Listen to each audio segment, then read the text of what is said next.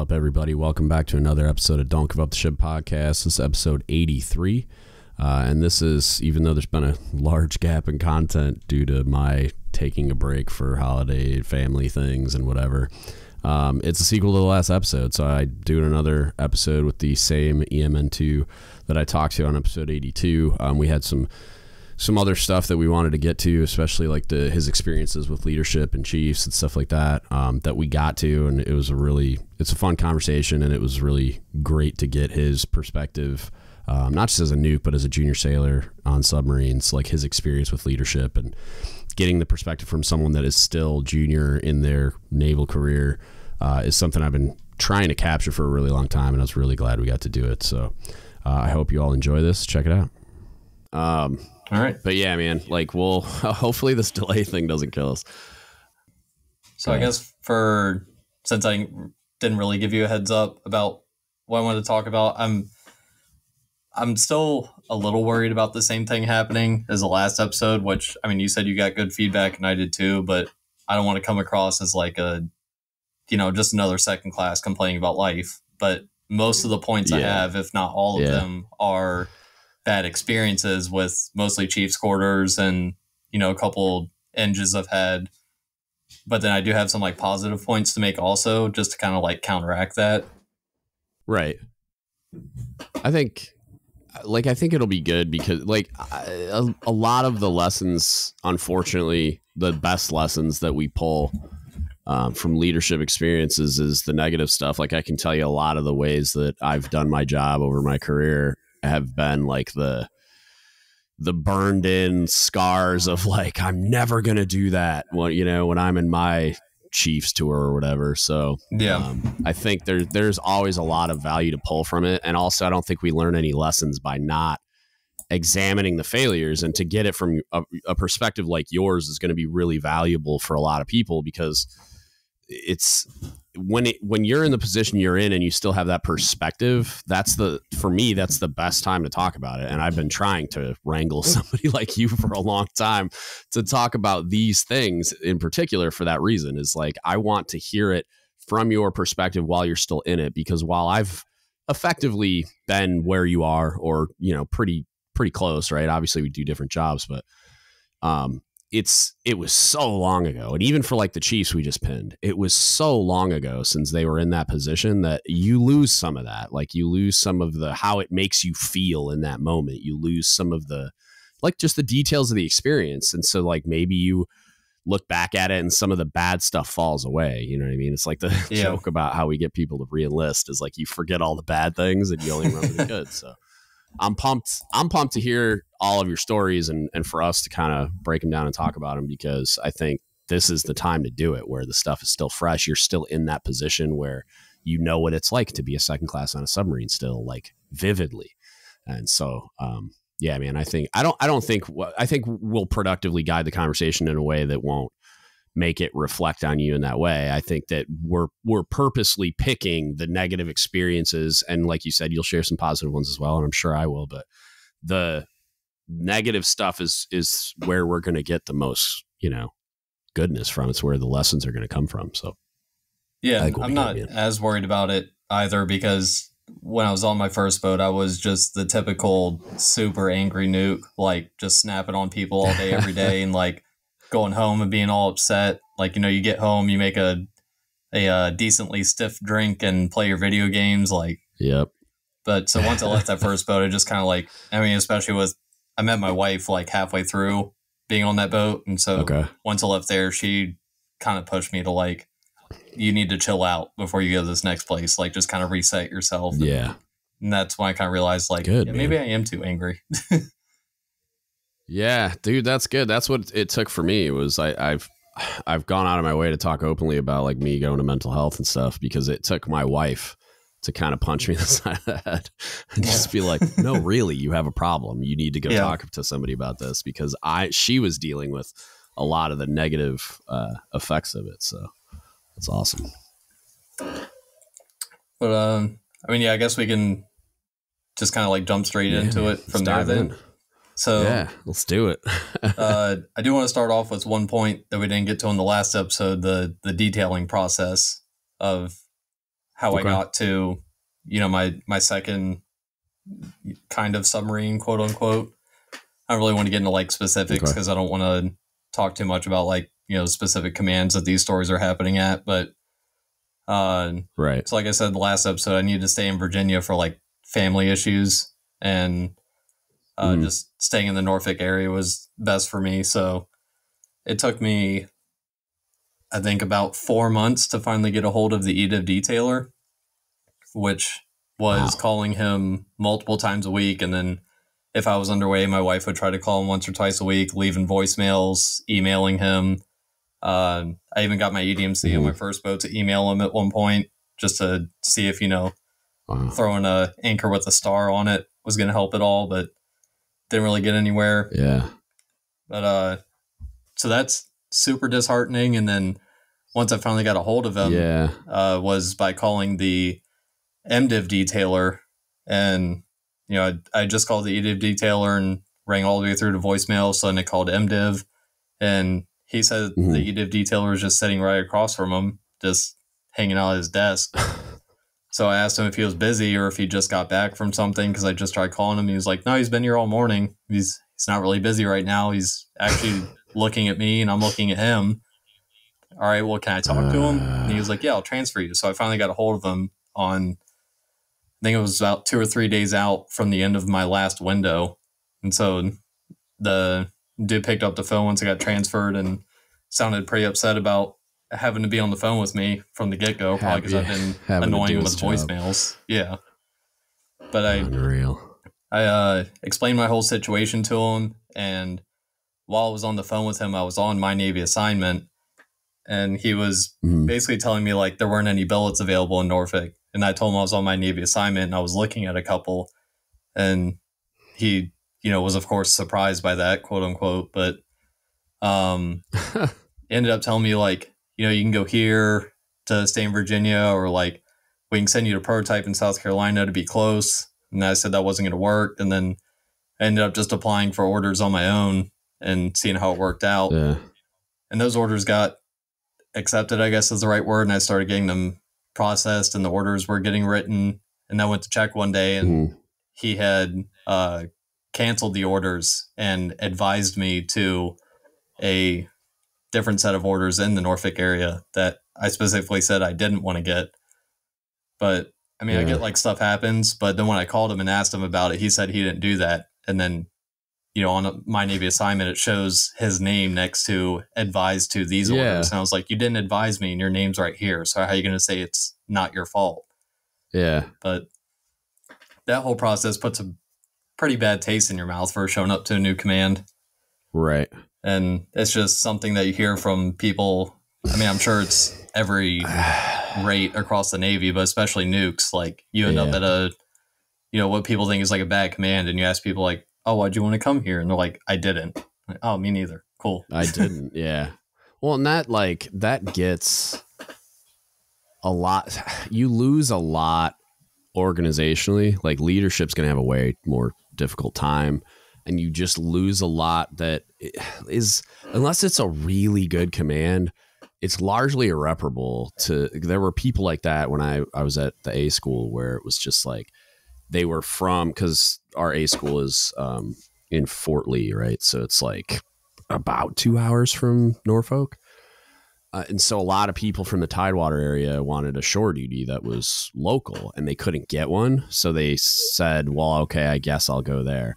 But then they kept like their house in, in Hampton Roads or whatever and drove two hours every day to get to work and back. Um, so it was like four hours of driving every single day. Yeah. And they were mad about it. And it's like, okay, I get it, but like you you there's this part where it's like you chose to not live locally. So I can't like the, how do you want me to fix that for you? Like you decided to drive up here every day, but now you're complaining about having to drive up here every day. And it's like I understand that these aren't the orders you wanted, but there's also that other mechanism of like you know the Navy gets what the Navy wants. Like it, you you signed up for this, all that other crap that you t- that you say to people, right? But yeah, um, what I don't understand is why the Navy doesn't program that kind of like I understand sometimes like it, it, not in your case but sometimes when you get on there there's only orders to a certain place right? Like there's only we only need this this nec and this rate at this pay grade in guam or whatever. Um and nowadays my understanding of it and i am not a manning expert is that there's like placement and then there's the detailers and placement is the one that like decides what jobs populate at what time and then the detailer just puts you know square peg and square pole square hole round peg and round hole at least theoretically. So like yeah i just it, you'd think that and and it seems like there's some kind of effort to make it better but it seems like it's more focused on making the organization more efficient than it is about again like most things we do in the navy taking care of the people right? And it's like why are we not trying to put the right people in that job? Because i want at that a school i wanted people that wanted to be there because it's like i it's it's hard to to program that into them. Like i it's really really difficult. Even if i get them to come around like as much as I can, their ceiling's going to be lower because they don't want to be there. Like, no matter what I do to make the job amazing, it's like uh, they still don't want to drive two hours every day. And I can't fix that for them because they own a home and there's all these other demands. And like you said, you had some kind of family thing that yeah. you that you wanted to stay in that area, got to stay in that area, but then did a job you didn't want to do. So it's like you're not going to be happy at work every day because you don't want to do this job. And you made that pretty clear. And then, you know, devil's advocate is there's jobs that no one wants to do, but um, and so there's going to be a certain level of that at some point that's like needs of the Navy, but I feel like that gets used as an excuse far too often. And then I wish I understood more. And I was gonna I scrolled through really quick while you were talking about I, episode 66. It's called "So You Want to Go to Norfolk." Ironically, um, talks a lot about detailing stuff that my buddy Tony. He was like a ECM slash detailer a couple different times um, understands it a lot more than I do. I, would like to get somebody else on to kind of dive deeper into that just to get a better understanding of it. Um, but yeah, I mean, I wish I had more insight on it, but it, big picture, it seems like it, I, like we could just do such a better job of of putting people where they want to be while simultaneously like meeting the needs of the Navy, at least in a broader swath, so that it's like people are happier. I get the the needs of the Navy side. I know, especially for nukes, it's hard to stay yeah. in Norfolk for shore duties and stuff like that. But at the same time, yeah. like I had orders to, uh, basically, you know, something like NRMD, like a, a availability support yeah. kind of thing, and the orders Ooh. were processing, and then got advised and all that. But then even when I showed up to that second command, because I was very upset about the whole thing and how it had gone when I was doing all my check-ins, talking to, you know, the COB and EDMC, and I even kind of made like a side-handed like comment to it to the captain when I was doing the check-in with him. Like, I didn't want to be here. I specifically asked not to. I have very legitimate reasons to have the other orders I was supposed to get. And all of them, like all the way up, mm. told me, you know, we on purpose had a couple people rerouted because that maintenance activity is overmanned. So you're just here to support maintenance. And then when this uh, boat is done doing its thing, you'll be sent back to that maintenance activity. And so at first I was like, okay, well, that, that actually doesn't sound too bad because I, I like doing maintenance. Like, you know, electricians, you get to okay. mess around in panels and stuff. And I, I get some kind of satisfaction out of that. But then right after I got right. told all you're going to do is maintenance, I get handed my usual nuke stack of qual cards. Like, oh, you got to qualify like you know steaming at sea watches. Like, this is the exact opposite of what I was just told. But okay. Neat. Yeah, and man, I like detailing is like this weird, like I gremlin in the room that just I really wish there was a lot more transparency and a lot more because it's one of those things where it's like, why do I not understand? I'm a master chief. I've been doing this for 20 years. Why do I not understand in great detail what actually happens? And and one could say, well, it's because you're not paying attention, and here's a PowerPoint for you to study. And it's like, that's not what I mean. I don't mean like I could read the My Navy assignment user guide. Great, thanks. But like I'm talking about like what's happening in Millington. Like, why do I not have a deep understanding of what's actually going on there. And and could I go figure it out by using my network? Yeah, probably. But like, why is it not super transparent? Like, why don't you have access to the things that would give you that kind of transparency so that you understand exactly what you need to do to get to where you want to be? And it's like, at the very least, it's kind of like advancement where it's like if you put enough stuff out there, it's like, do you know exactly what happens at the Chiefs board? No, but I can tell you enough, and I have through podcasts and everything else. And so has like they put out through precepts and board convening letters and like PowerPoints from the the board and everything else where and the advancement manual, like you know pretty much exactly what happens there. And I know I was a board member, so like I know I know exactly what happens there. But like the training material that's accessible by everyone it, it paints a pretty it's like a 90% product. Like you and there's some stuff that's kept confidential because to discuss it would like it'd get a little weird for the people that aren't selected and the people you know what i mean? But yeah. and it's not perfect. I can tell you that for sure. Like in that in the episode that i did of how to make chief it's like it's not perfect. I'm not i think they could do far better but it's not corrupt and like you know what i mean? Like it's just not designed as efficiently as it could be to select the best possible people. But like in this case with detailing, I just I don't understand why all that stuff is not super accessible and transparent and why the process isn't set up in a way where it's like it should be super obvious why you got detailed where you did. And you should have some control eh, which i know they kind of like oh you get to fill out the thing that says this is where i want to go. And like but then you hear all these experiences where it seems like they effectively disregarded that and didn't care where you wanted to go. They just put you wherever it was convenient for their little spreadsheet to turn green or whatever they're using to track like billets that are empty and people that they have rolling. And it's like, I don't know. It's another it's another function of like leadership failing to understand the impact that their decisions have on people, like in real life. And it yeah yeah it's confusing. Doesn't it blows my mind that they they lose so much trust of the people that like they need to follow them in order to do the job because then these same people that are in those positions roll back to boats and everybody knows who they are. And i'm like i can't imagine the pain that they go through. I would think i don't know. I'd have to talk to one of them but yeah especially with the the edit yeah. detailer at the time. Uh, a lot of guys i'm working with right now also dealt with him to get to the current command mm-hmm. Matt because they transferred around the yeah. same time. But you'd ask anybody, you know, you you name drop the guy, and everyone always has the same like, yeah, oh, that guy. Like, everybody knows yeah. him. But I, I had one of those. Yeah. I had one of those as well that I had a really hard time with. But so conversely, though, my experience, I was uh, senior chief, and it was I leveraged some relationships I had, which not everybody has access to, but hear me out. So um, I had access to like my force level people that do my job that can exert a lot of pressure on a detailer. And it wasn't like I was like hooking myself up. There were boats available in the area that I was trying to go to. And he was just telling me there wasn't.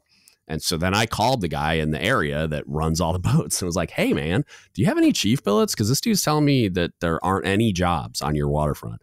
And he immediately lost his mind. It was like, are you kidding me? Like, I have so many chief billets that are empty. Like, I need so many people, blah, blah.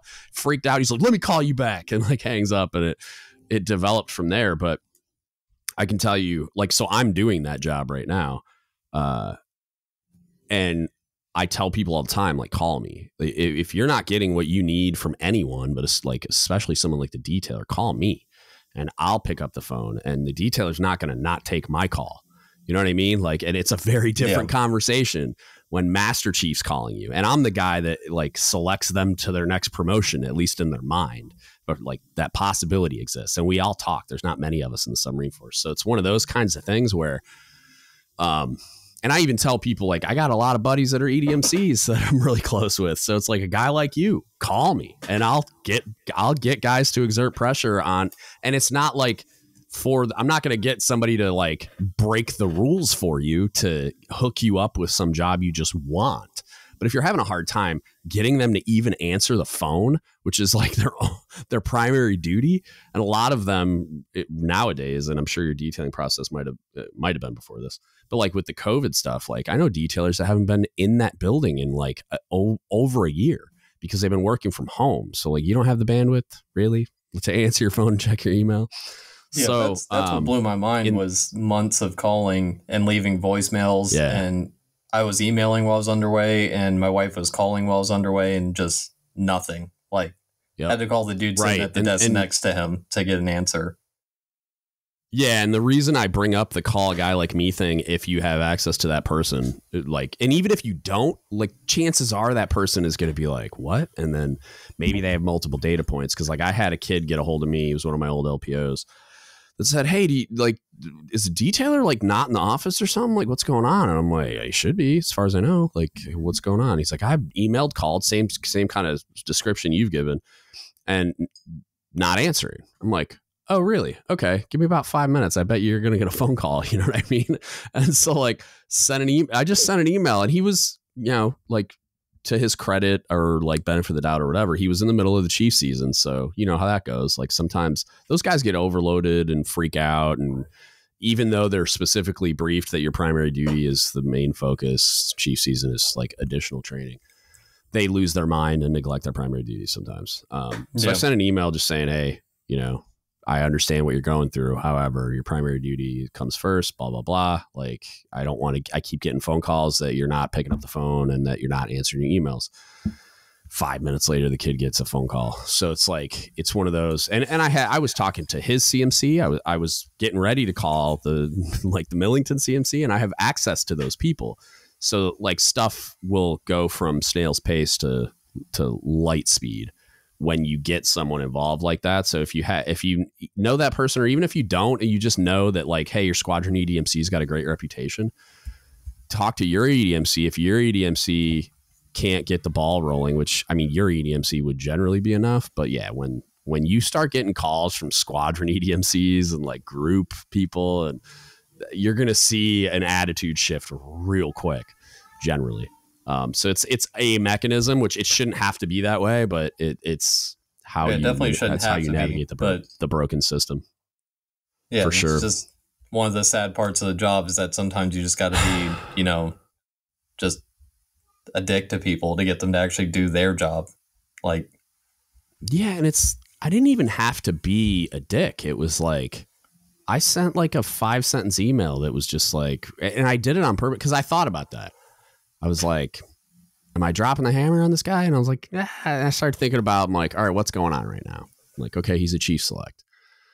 So, and he's I know him well enough to know that the most likely scenario was that he was overwhelmed and he freaked out and completely dropped his primary duty because I've seen that happen a hundred times, probably more. Like just chief selects that, even though they were specifically briefed, and we really drive that point home, we don't want them abandoning their work center to do chief select things, but you see it happen a lot because they're they're more afraid of the negative reaction if they don't get this task done than they are of what would happen if they don't get their work list done because they manage their work list and there's you know a lot of times that kind of stuff can get that can might be able to get kicked down the road. And that's the that's the math they do in their head. Well i can i can do that later. It's okay. Like or or my second class can do the plan of the day and then the plan of the day gets screwed up and then it gets routed to the xo and then the xo is yelling at me because of plan you know what i mean? And then i've Yeah. because i've removed myself from that process.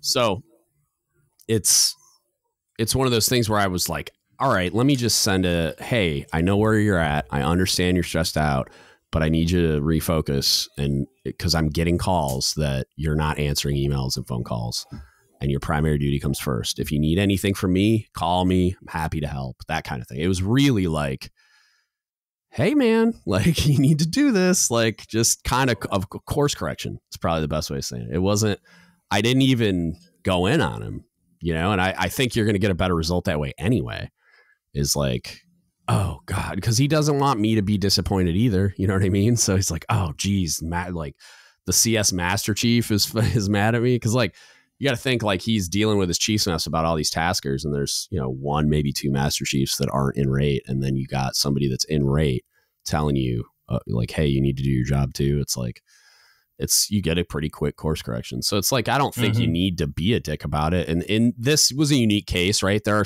it sounds like yours was more m- malicious, where it was like the guy was just being lazy for maybe he was about to retire, maybe he was just a lazy guy and didn't care. He was bitter and angry about something else that was going on. Who knows?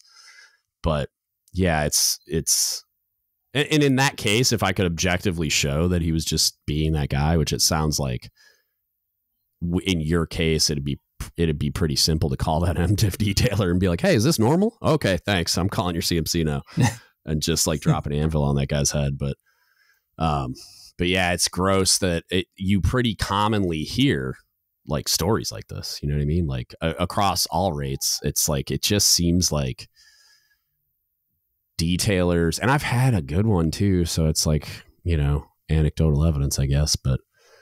Um, yeah, I mean, yeah, it seems like it's it's common. just something that puts a bad taste in your mouth, like I said, for showing up to that new command, even though that command right, right. usually has nothing to do with it, except for the one I showed up to said, you know, they made calls and had people rerouted, but and I mean, even that yeah. gets into like the first the first seventy two hours or whatever it is. When you talking about yeah. junior sailor showing up somewhere, like you can't have a new guy show up yeah. and play like the the cool stepdad act where you're like, oh, hey man, I get it. Like, you know, life's hard, but yeah, it's because of this reason. And then the way it ended up at that command was the um the guy that actually told me, you know, you're only here to do maintenance and stuff. Like, you're not gonna have to worry about anything else. Right before he handed me a stack of qual cards, ended up not being that great of a person in general, like as a human being or the rank he was at. But yeah, so that kind of destroys trust on his end because you show up and like I said, you're being yeah. all buddy buddy, and then literally a week later, yep. basically was putting an unexpected workload on me. Like, oh no, this is actually why you're here. Yeah.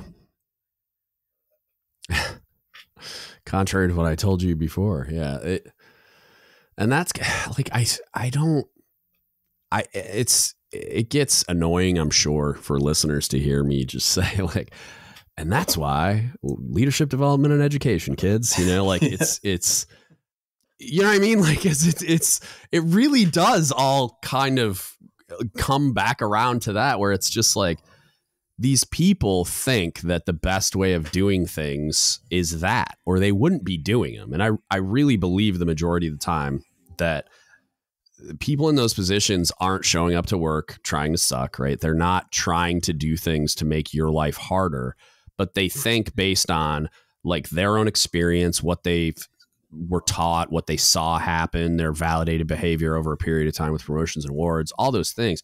Like it all adds up to behavior, right? They're behaving the way the organization shows them how to. Sometimes the way the organization incentivizes to, like um, Paul Kingsbury, the fleet master chief I talk to all the time. He says that like he would point at precepts and convening letters, which like I was mentioning earlier, like, kind of like lay out the priorities for advancement that th- those things drive behavior because when people read them and it says, hey, community involvement, volunteer work, college, collaterals, all that crap that we get so frustrated with, it's like but it's in it's in that document. If you took it out and said no this in fact isn't a criteria for advancement people would stop doing it or at least stop prioritizing in the way that they do. And eventually the the sailor of the year boards and the the ranking boards and everything else would follow suit. But those things drive behavior. So like the the way the organization prioritizes things the way the organization um, values things and and validates things through what the validation processes it has available drives behavior. And so you get these people that like, hey, we don't prioritize leadership development and education. We don't prioritize soft skills and and like treating people with dignity and respect, even though we say it a lot. Like we don't prioritize really taking care of people. And like you're starting to see good signs, I guess, through like it, it's reactionary and it's like band-aids on bullet holes. So like they're putting out fires you see a prior priority for like some mental health stuff like with the warrior toughness program but it's in reaction to this giant spike in suicidal ideations and attempts you know and and like completions like you see um certain things like start to happen, but it's in reaction to allowing it to get to a place where everything's on fire. And I think some of it is like sailors are taking to social media and taking to platforms like this and talking about it out loud. That's driving a lot of that change instead of the organization actually prioritizing it as part of like who we are and what we do. Since you're you're talking about um, people turning to social media and stuff, and yeah, I guess these opinions or stories, interactions, stuff like that are all becoming more public, which mm-hmm. is kind of a double edged sword. Like it's good and bad, but then yeah. you obviously I'm a nuke, so I'm going to bring up the reactor is critical, but you have yeah. pages like the Reactors critical who on Veterans Day recently made a, a post that I really thought was you know a solid post. It basically said, mm-hmm. "Don't burn yourself out for unrealistic expectations." that's just one of I think the biggest flaws in the new community specifically, but I think it's also just a thing of people kind of forget um, the basic need for rest, I guess would be the easiest way mm-hmm. to put it. Which yeah. is why you end up getting a lot of these stories, is because leadership is essentially when you get the bad stories, it's because they're leaning more on emotional energy to get themselves through a situation or even just a day because right. they're not they're not getting the time off. I mean, nobody's getting the time off. I guess it's part of the job, yeah. but if you don't have enough time to go home and decompress and get the rest that your body physically needs when you show back up to work the next day, or if you're underway when you go on that next watch, you're kind of relying on that emotional energy to deal with certain yeah. situations. And then you end up with a lot of people just snapping or yeah. you know, you get knee jerk reaction is a term that's thrown out a lot. Yeah, I um so I was just talking to my therapist about this like I'm a master chief because I was trying to I was burning myself out for those unrealistic expectations. But and, and I told him I'm like if it weren't for cancer, I don't think I, I think I would have done this job till it killed me. Lit like all the way. Whether it was yeah, I mean, however I ended up there, whether it was like my body doing what it did or it was I like look, woke up at 32 years 34 years in the navy or whatever and looked around and i had a one bedroom apartment and, and no family and yeah. like all i had was this career that i was about to leave and nothing. And then i you know maybe i kill myself or maybe i just it spirals out of control somehow. Like i would have run myself into the ground in some i would have found a way you know what i mean? And it was like so it's kind of it i've i've spent time in the last year apologizing to a lot of people um, also because i don't think i mean I, I don't think i know they didn't get the best version of me you know what i mean? Like especially on my last boat it was i didn't want to be a cook chief anymore. I was trying to be a 3mc because i wanted to do something different and that didn't work out because there was no jobs detailing etc like so i had to go back and do the same job i did but um, I was not happy about it, and then ended up in a like in a pretty good place. I mean, it was a it got me back to the location I needed to be in because of family things, but um, I didn't deal with it well, man. Like I've talked in the past about like stand and dive and the anxiety that that brought and all the other stuff. And I was trying to be a cob still. I was still full speed ahead. So I mean, I was doing, I was redlining the whole time and uh, as a result, my guys didn't get the best version of me, which is kind of gross. You know, like it's your primary duty is taking care of those people, and it's like, I, I mean, like overall, I I took care of them, but I didn't. There were times where it was like they they got a really negative representation of me by no fault of their own. You know what I mean? Like I, yeah, the hour or two I have a day tops to like come down to the mess decks and interact with them, they get I'm I'm angry and snappy and like deprived of sleep and stressed out because I have to go do this thing that's giving me all this anxiety and not allowing me to sleep well. And turns out I got a cancerous tumor in my face too. And it was just not a good thing, dude. Like it was bad. And I've spent uh, the last few years like apologizing to those people even the ones like I had a kid made chief make chief this year that he spent a little bit of time as my LPO and um I don't think I think I could have done a way better job. I like I tried, but I think I could have done a way better job with him if I had been doing a better job of balancing and and what's what's gross and a little counterintuitive is I think in order to do that, I would have needed to shut down a lot of the other things I was doing, which are the things that made me a master chief on paper. So it's like, well, okay, so what do we do? What are we doing? Like, what are we validating the behavior that led me to like run it until the wheels fell off the wagon, you know, and negatively impacted my ability to lead? Or do we well, want to validate me slowing down? I think people get used to operating at basically max capacity. Just again, right. that's I understand this part of the job. I'm going to play devil's advocate and yeah. say it's necessary at certain times, but still, sure, it's not healthy to keep doing that all the time. Like if you're yeah. on deployment on mission, yeah, you're not going to get any sleep. You're doing, you know, mm-hmm. you're doing God's work. You're out there doing what you signed right. up for, quite literally. But if you're in port getting an inspection, like why is everyone hanging out on the boat for god awful amount of mm-hmm. hours? And then they're like, oh, don't worry, you get to go home for six hours tonight. You get six hours of sleep. I'm like, no, I don't. Yeah. I have a 30 plus minute drive home. I got to get home. I got to yeah. get, you know, everything ready. You got to wake up, shower in the morning, get back yeah. to work, beat the traffic. Like, it's just, it's stuff like that that's just like, you know, people just get used to it. And I mean, yeah. like, personally I've gotten used to it, but it doesn't mean I'm happy about it. Yeah. And then you get into stuff like one of my worst experiences on my first boat was when I had to stand in port, shut down in shipyard. I had to stand almost 16 hours of watch and maneuvering because the way the watch bill was working out, we barely had enough people to support that night's duty section. One guy got pulled off to go support uh, basically a secondary watch. Um, Mm. I, people probably know if I say control point watch, they'll know I'm talking about. But so yeah. that put me as the basically the only shutdown electrical operator for most of the day. And our engineer That's, came in maneuvering yeah. because we called him in there to point out the watch bill and explain to him what was going to happen and basically said like can you get the ball rolling on permission to secure the shutdown electrical operator because it's something you can do in port if you meet certain conditions on the oh, plan. okay. And basically told him like if we don't secure the shutdown electrical operator, like I'm gonna end up standing, like I said, almost 16 hours of watch. I'll get a break for yeah, you know, like go grab some food real quick or whatever, but this is the way it's gonna work out overnight. And then the the engineer, the engineering officer, the guy in charge of the nukes, knows all these requirements and everything, just looked yeah. me in the eye and said, Oh, that sounds like it's gonna suck. And then walked out maneuvering and went home for the night.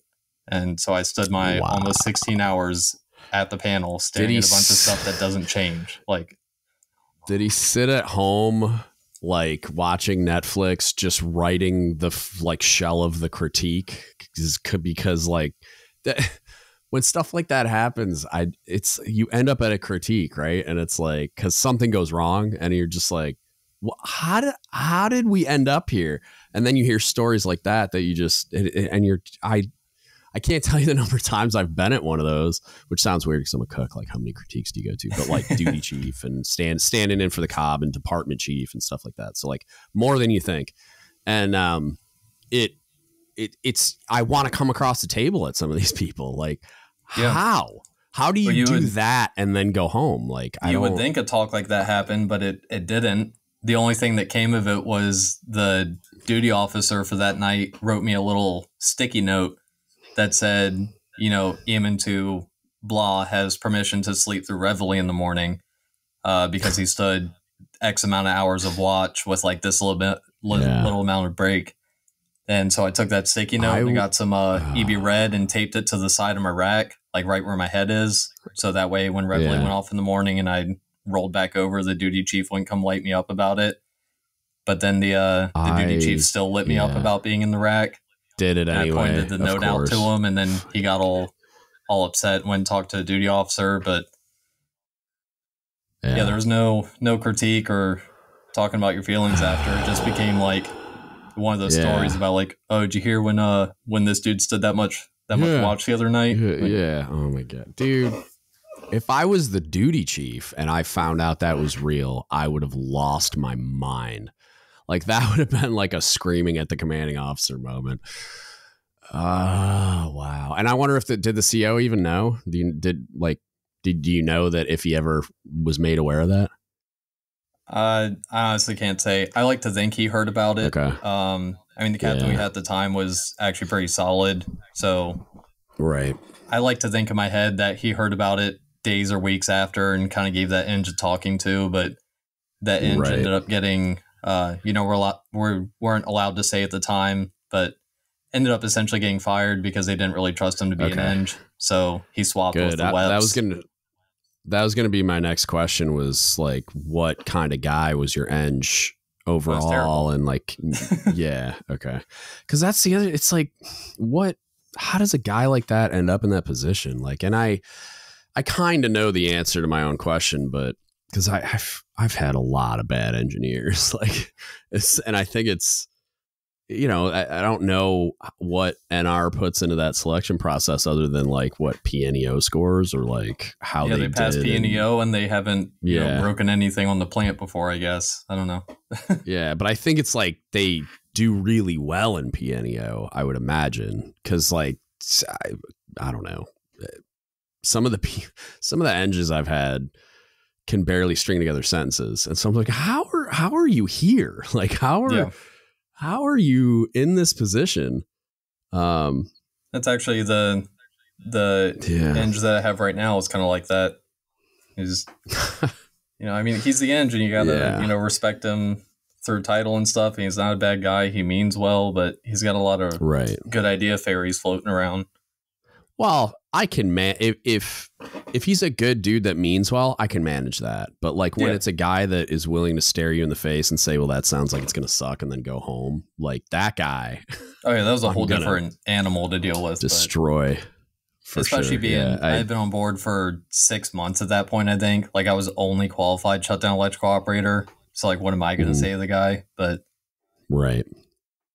Good lord, that's but that's why you can't retain nukes either. So it's like the type of people that do those things being in those positions and i've seen a lot of them um, conversely i've had a lot of really amazing edmcs so maybe it, that's how it balances out. But um, because like i i'd say almost every edmc i've ever had has meat puppeted the engineer. So it's like who really want, runs engdep you know what i mean? But yeah. um i i don't know like I, I look at it like those types of experiences are a large reason why you don't get nukes to stay in or that when they are in they have such negative experiences that it bleeds over into everything and that's why the perception exists that uh, I just saw this like Bart Simpson meme that I think Trick shared that was hilarious about like how nukes are natural enemies with pretty much everything, and it just it was the janitor guy going on and on. About it. it was really funny, and it was just like it's it's it's funny when you share the meme, but it's like when you examine why that is is real, like why that stereotype exists. It's like it's depressing, man. Because like I don't I don't know how you how you like make that better. Even if I had gotten to go back as a cob, like I don't know how you make that better for them because of all the like NR is the is really the mechanism for like fixing a lot of that stuff. I mean, there might be a way where if you got like the world's best triad or like it became direction from like squadron group whatever all the way up to like SUBPAC sublant where to like do certain things in a way where it like relieves some of the pain and somehow manages all of like the EPM whatever requirements or EDM or whatever the hell um, book tells you to do all this painful stuff. Like it's I don't know that there's a way to do it where it's not excruciating. You know what I mean? And it's like so it seems like it NR is the one that needs to to examine this, but I, it doesn't seem like there's an appetite to do that. And then also, like, I- I'm real curious. I'd have to probably ask someone else, but I've had a lot of nukes tell me that, like, my one of my best friends was a nuke mechanic that has worked in the civilian industry, same lane for a really long time. Um, and he said a lot of the like power plants and stuff that he's worked for purposely go after Navy nukes, like recruiting wise, because the standards and like uh like quality of training and length of training and everything are so Yeah. much higher.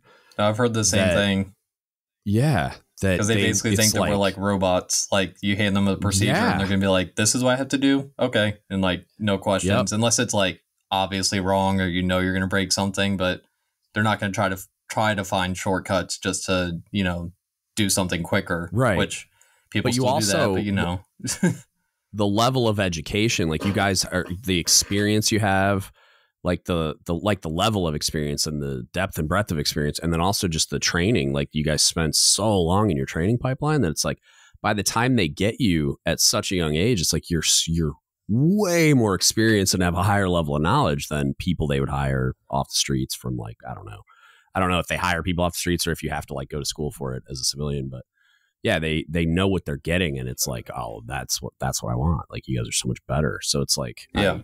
I I wonder if it's if it's almost like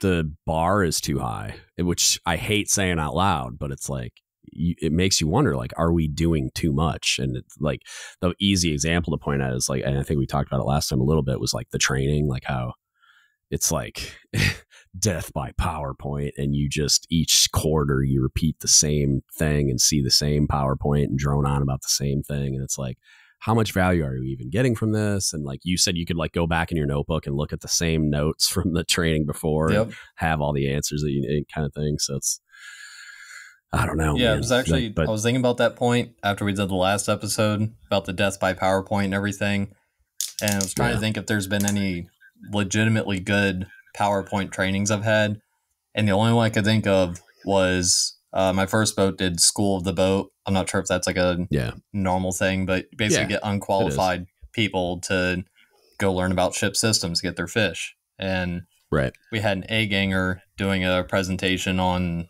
I think it was like hydraulics or something, but one of the Yeah. A gang systems and he had like a five slide PowerPoint and so he's clicking through and he's basically like this is where the pumps are, this is the power supply, this is the loads it does. And then it got to the end and it was not even five or ten minutes into the training. And so, you know, all the unqualified dudes are sitting on crew's mess and we're like, oh, this is already over. Like, sweet. I can go back to, you know, doing whatever. And then he said Yeah. we're going to take a field trip. And he spent the next like it. 45 minutes walking us down to the machinery room, showing us, you know, where all this stuff is and like to the boat Yeah. uh, locations where the loads are at. And Mhm. we were underway at the time. So there's like stuff he can't show us because we're not, you know, tied to the pier or whatever. But basically Yeah. explaining like, you know, when we pull in, keep an eye out for this or like ask uh, somebody that's qualified, you know, dive or uh, for 9G, it's like the pilot co pilot. But Mhm. basically like asking one of the guys that's qualified to drive the boat about how this specific thing works and then you know just get an idea of how it works and at the end of it um he basically said like i'm not going to sign the checkout even though that was a checkout like this is basically homework for you to do and that was Yeah. hands down the most productive training i got Yep. because even though you have most of the answers now you're kind of like oh i do want to go see that like Yeah. Yeah. And you're going to remember, like, it, at a board, they're going to say, you know, like, where's the ship service hydraulic plant? Uh, like, what does it power? And you're going to remember in your head when MMA2 walked you down there and showed you where the stuff was. So you're going to Oh, yeah. immediately know, oh, yeah, it's here. And know, like, I, yeah, I remember dude, like I, and can see it in my you head were, now the field trip and everything Yeah. like everybody that was there with me like standing you know Yep. in the machine room in the engine room looking at the equipment and that was i don't even know how many like years ago when i got my fish like Yeah. i mean not that long you know especially for you comparatively Right. but uh, it was a long time ago in a land far, far away. Um, yeah, it, it uh, uh, one of the coolest ones. I like. I've seen things that like PowerPoint can do some cool things, like, but by and large, I think it's it's stupid, and we probably shouldn't use it much. But like the, I had a on my last boat, we used it as like a simulation for um, hydraulic ruptures. So like they would put a screen up in control where it would simulate the all the plant indications for a hydraulic rupture and it was just PowerPoint slides. And it, it had like an illustration of um like the I don't god I don't remember now like the pumps that are running and not and then like the um accumulator uh, levels or whatever and all that crap. And and they would start to like change as you and it would indicate like okay during the and so like you're calling it away and you're sounding the alarm you're doing all the things during the drill and then you have to like let the um accumulators go down so that like header pressure then indicates like which side it's from so that you know what actions to take is pretty cool. But outside of stuff like that, I'm like, uh, yeah, I, I more and more just hate PowerPoint um, hmm. because it's yeah. like it's almost like it it triggers something in your brain that oh, it's time to zone out and start thinking about all the things I need to do after this or, or whatever. Start thinking about my um, honey to do list when I get home. yeah, that that also yeah, gets um, into. I mean, you're talking about death by PowerPoint and zoning out. Like, if that's the whole way you run your training program, um, the the officer that was in charge of doing the qualifying interviews of my second command was notorious for getting an interview. But i mean you've you've done all this mindless training and like checkouts and stuff and then you finally go up to him and ask for an interview and this is also a secondary point of like you know if if you're in a position to give interviews how you should not treat people but he would just avoid the interview. He'd make up a reason. Yeah. He'd one time he told me he had something to do in three hours, which was just a little ridiculous. But once you finally get to the interview for him, um, like I said, this was my second command. I was coming off of a 9G boat. We spent 45 minutes talking about life as an e-diver on 9G and like how things go and, you know, like basically oolies about the electric plant. And then after that talk about a totally different platform, he was just like, okay, well, uh, you've stood a similar watch on that plant, so here's the things that are different, and like signed it off. So wow. that just you're already zoning out during the trainings and stuff, and you go to an interview like that, yeah. and you're just like, well, what's the point? Like, right? What was the point of even doing this?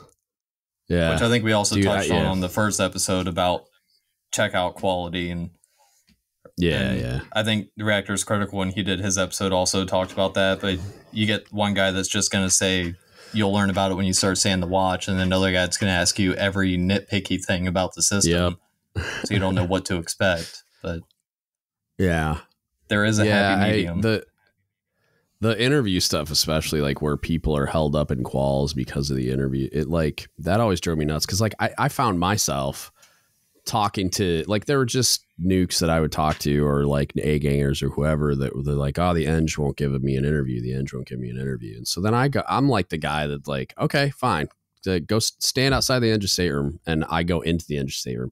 I'm like, hey, sir, what's up? What's up with this? You not giving interviews? And he's like, huh? And then it's like, you know, like every every officer is is programmed somewhere like deep down in their in their DNA, like to fear chiefs in a certain in a certain way because they were raised by them and in the same way many people are where it's like a lot of time and especially if they're an academy grad like they have these things called company chiefs it's kind of like their rdcs and so it's like if you come in there in that way they just like they go back instinctually and react in a certain kind of way. So it's like and then you know edmc is obviously really good at that too but it's like just go in there and like metaphorically punch them in the face and just be like hey what are you doing? Like go do an interview and you just kind of can guilt them into doing it that way. So if there's a chief that you can leverage in that, because I, I did it to the end all the time. I'm the cook chief, so it's like I'm the last person that should probably be doing that, but it's still effective. Like the Eng was still afraid of me, so it's like, and part of that is my personality and the way I go about interacting with people. Um, but yeah, it. Well, that's probably it, like the detailing thing that, too, where you get somebody yeah. outside of your rate calling in, like they're you, you're sure. the last person they expect. Right, right. And it's I'm gonna do it a little differently each time, but like, yeah, it's it's part of it was because I was kind of like I filled in for the cob all the time. So it's like the cob coming and yelling at the Eng. Like the Eng is gonna react that like an authority figure's talking to him.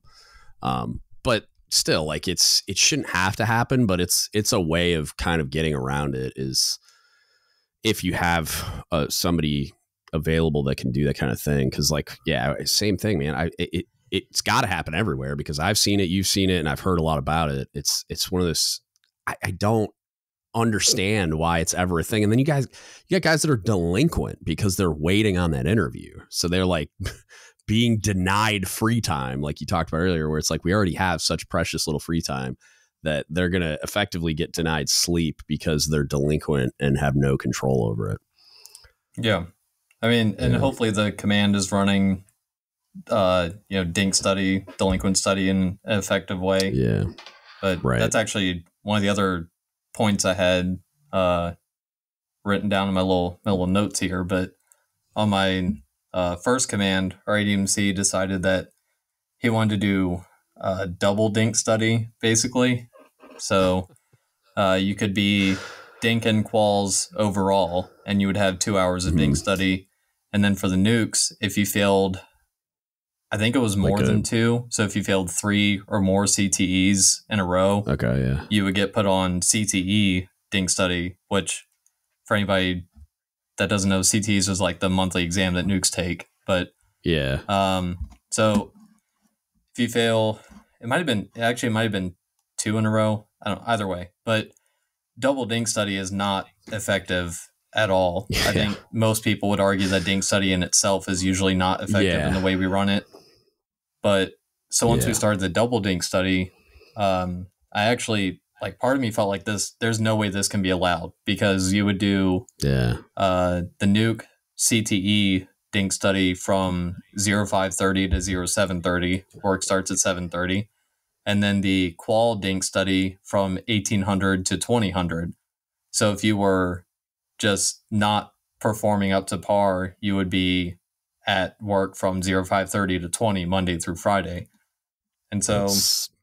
i actually went and looked it up um, like what defines dink study and if there's any limitations for it and the best thing i could find was the extra military instruction uh, definition from the JAG manual, and mm.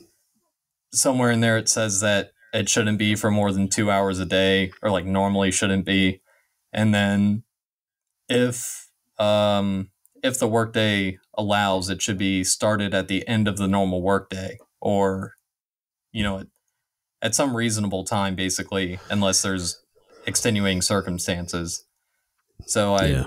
I printed off that little uh, snippet from the JAG manual and I brought it up to my EDMC and said, you know, I, I get what you're trying to do, but one, it's not working at all, clearly. And yeah. two, there's this thing that says, you know, normally should not be more than two hours per day if you're considering yeah. this EMI.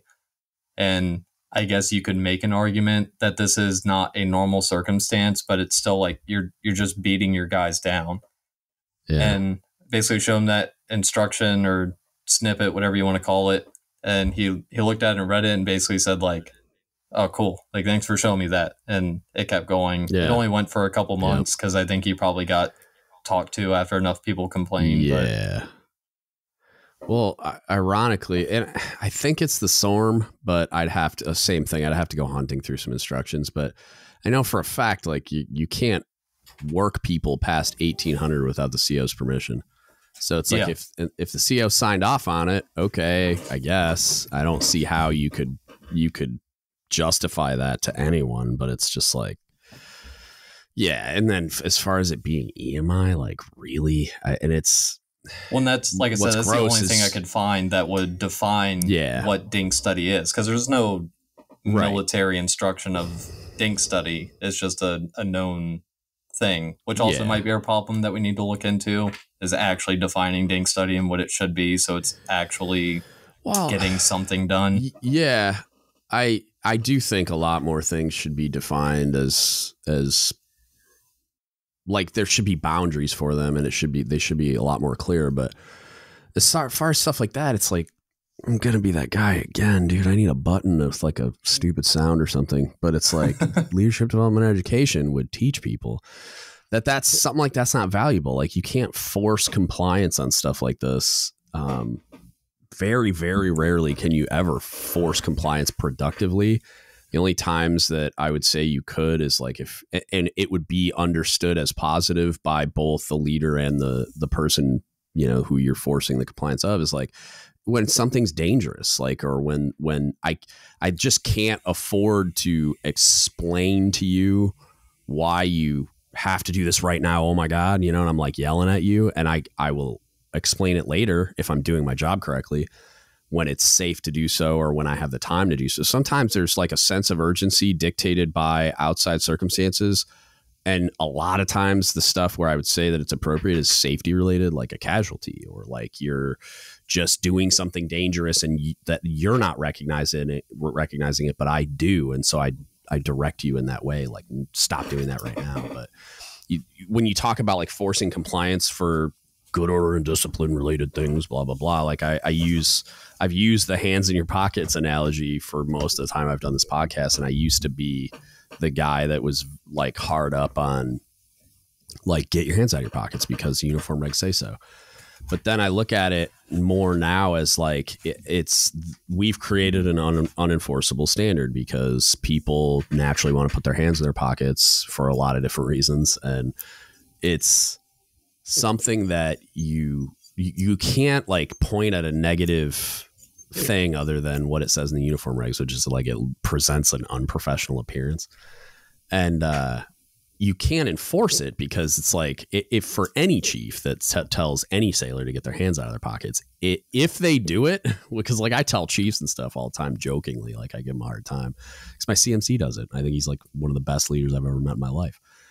Um, but you tell them and then the second you walk away they're going to go back to doing what they were doing because it's not hurting anyone and they know it. You know what i mean? Yeah. like there's no real reason that they can't do it. Um, so it's like it's we've created an unenforceable standard and, and we try to force compliance there and all we do is lose leadership capital. Like you just become the guy that junior sailors don't trust and it's weird because you're like you're thinking about it like, well, you're not supposed to do that. And I'm the guy that's supposed to correct you for doing something you're not supposed to do. So when I do it, then you create this weirdness where it's like now they don't trust me. Like, what do you mean? You, I'm I'm telling you, I'm doing what I'm supposed to be doing, and it's like you just lose leadership capital that way. But then, so you got the force compliance piece, and then you get like where I need to I need to use like productive methods to get people to do a thing. Yeah. And it's people think that that's productive that they can just force compliance because of their their rank and station in life and it, it never works. But then the story I tell all the time that kind of illustrates the point is I there was a cob that I, I went on a boat and did an inspection. This would have been probably a year and a half ago. Um, and on the plan of the day, because I, I, always go look at the plan of the day just kind of see what they're doing, and then um, I look at something like the watch bill and to see where people are assigned and some other stuff because I eventually have to like make sure they're qualified and all that crap. But um, it said instead of like where it would have said delinquent and personnel or whatever, and like hot runners, it said shipmates that need our help, and they had names, and then uh, for the like watch station that they needed help with, and then they would do like these qual things where senior people would show up and junior people would show up and the senior people would help the junior people. And it was just made okay. Like it was created the culture was was like formed in a way where um, that's what that was the expectation by the chain of command was that like look it's not it's not solely the brand new unqualified guy's responsibility to get that guy qualified. It's the responsibility of the senior qualified people to help that person through the process. And when they get behind because of difficulty with, you know, uh, retention or understanding or whatever it is, we're going to help them. Even if it's a lack of effort, like, okay, well, why? You, you get into like the leadership principles. It's like, why is there a lack of effort? Why are they not put, you know what I mean? And like, what do I got to teach them? because maybe I don't need to teach them about the hydraulic plant. Maybe I need to teach them about like why why hard work is important and the rewards of it. Um, or why just it, having I, fish it, in general is yeah you know a good thing. It's not just like some right.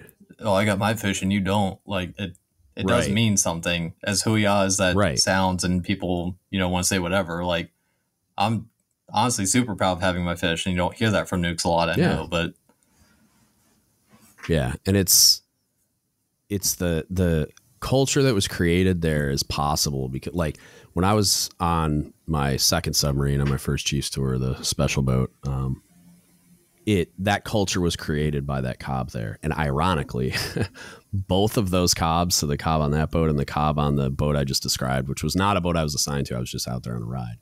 Both of them won the Frank Lister Award, which is like the best cob in the Navy award.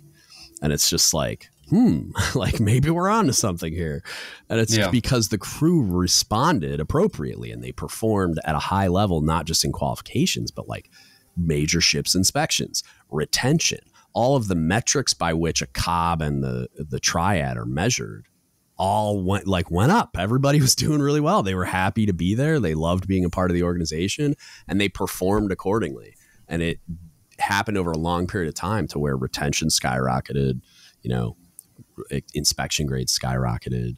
Um, uh, misconduct went way down. You know what I mean? Like we we didn't have a lot of captain's masts on that boat. We didn't have a lot of DRBs on that boat. Like it happened, obviously. Like junior sailors are going to junior sailor. Like people still partied yeah. and got DUIs occasionally, but like it went way down. And so you know you just and and a lot of the ones that like you didn't see happen is like DRBs for like work controls issues because people were doing a good job and like had the attention to detail and engagement and they were getting rest and they were happy. Like that was the the second boat I was on was the cob that was he had a hard and fast rule in the shipyard that if you were day after duty, you were off the submarine by thirteen hundred. And it was just like like you couldn't introduce new work after fifteen hundred ever. Like if the shipyard came down after fifteen hundred with new work, the duty officer told him to leave. And it was like he would he would go up to the whatever the um, I forget the name of the meeting, but like the daily planning meeting, like it, not the night work meeting on the boat, but like the one they do at the shipyard. Yeah. Um, he would go up there and like flip out on them. He's like, we said at the beginning of this this uh, availability that this is not a thing. You will not bring down new work, like because all the only reason that was happening is the shipyard's inability to plan. And then at the meetings, they would say that they wouldn't do it, and then they would do it anyway because you know shipyard. So um, yeah, it was just they everybody was happy and and like healthier, you know, like were they still working really hard? Were they still stressed out? Were they still all the things that we talk about? Yeah, it just wasn't untenable, you know, and, and that, yeah. that little bit, you know what I mean? Like him being able to, that cob being able to recover and give back to them that little bit of quality of life, that was enough. You know what I mean? Like they didn't demand more. They weren't like, it was, they understood what they were doing, especially on that boat like they understood what they were doing was important and they needed to work really hard and blah blah blah. But especially in the shipyard, like, do I really need to be here like super late? Do I do I really need to get a fifteen hundred work list? Do I really need to like we're like calling people in because the shipyard brought a job down that after fifteen hundred that we didn't know about? Like, come on, like that shouldn't happen ever. So yeah, I think that you can gain so much by just doing it the right way, just doing it positively. You know, like introducing practices like that for when you like in relation to dink study where you're you're productively addressing the issue instead of just like punishing people.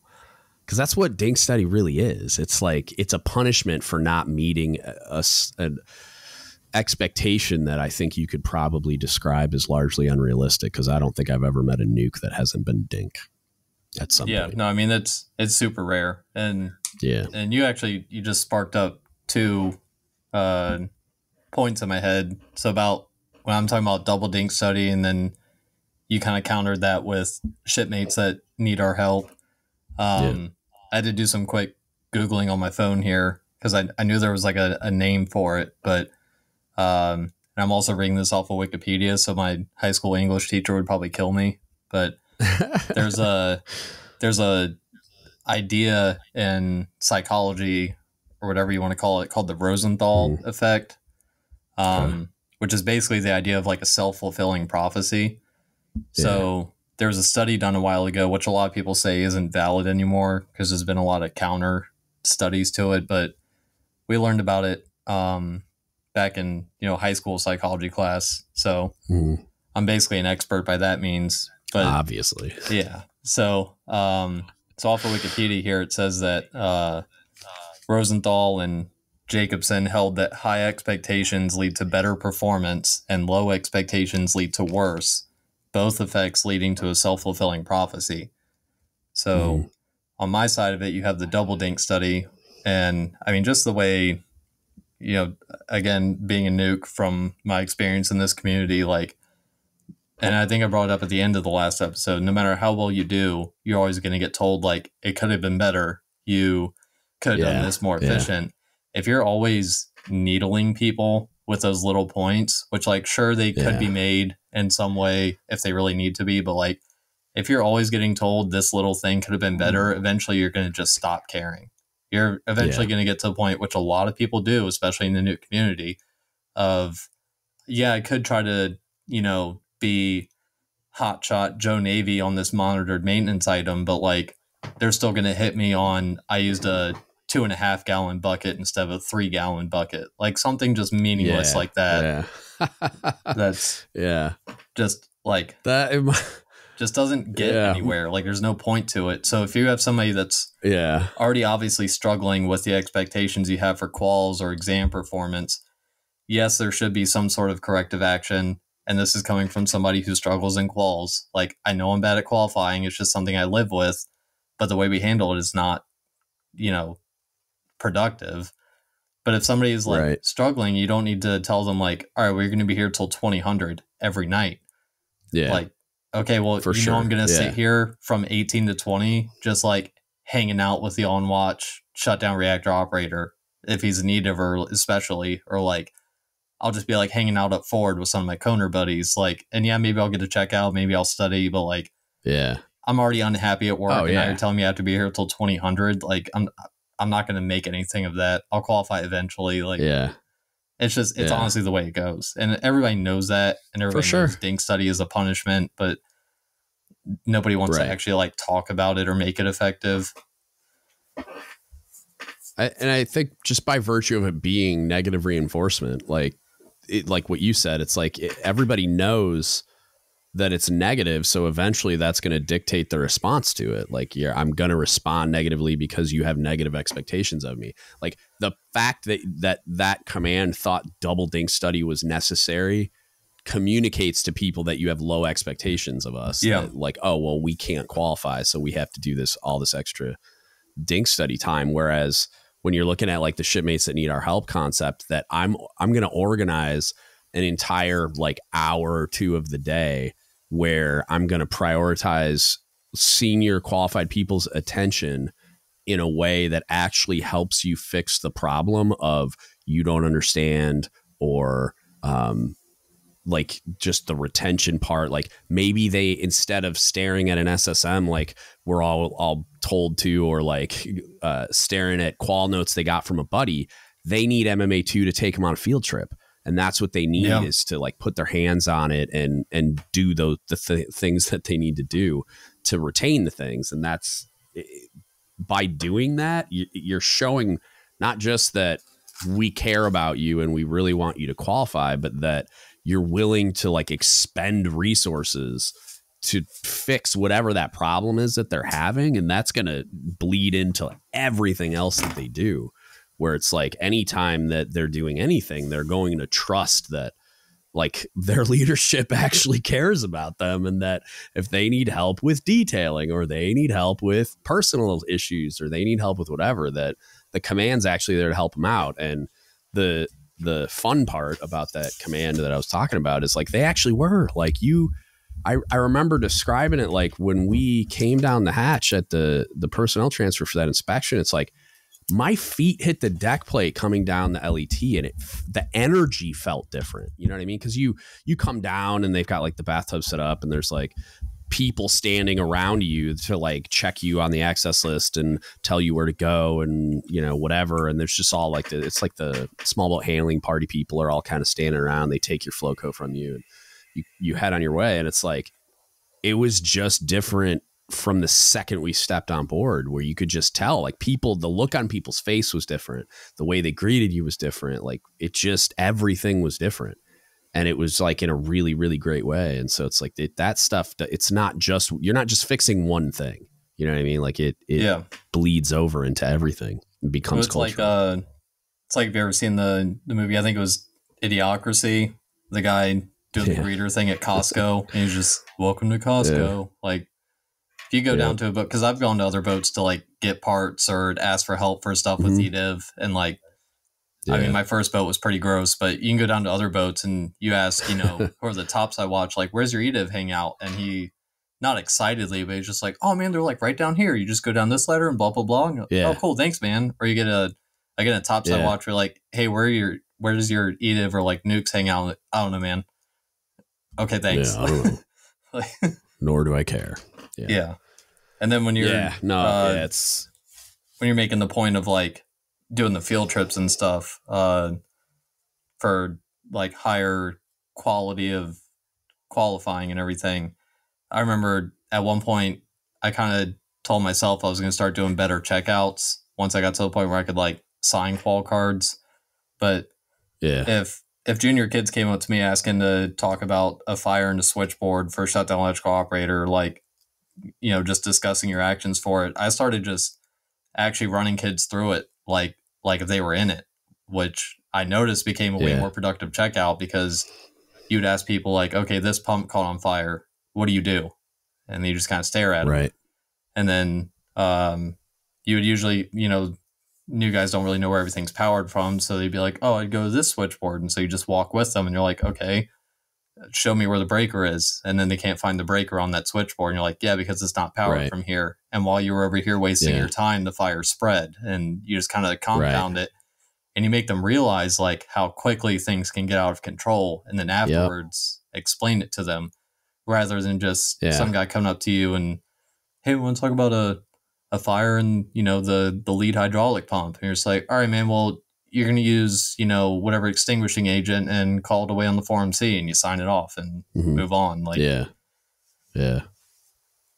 They're not going to remember that in the same way they will what Yeah. like the field like the field trip and then the having t- like the understanding of what happens if they're wrong. Yeah, like that's I like that a lot about like the um the dive and drive trainer when when we would do um stuff as chief the watch or dive like I'd be in there. And it's like you get to play around with things and it's okay if you mud dart the submarine even though that's not the goal because you get to see what happens. Like you get to really feel a jam dive casualty instead of just because like at sea i mean we might simulate it with an angle but that's about all you can do on in the trainer. I mean that thing does everything. Like it's it's Yeah. really cool and you get to see the indications and if you do it if you don't respond wrong or or like if you respond wrong or you don't do it fast enough like you don't get your immediate actions done quickly enough like it makes it worse. And it's like you get to feel what worse is.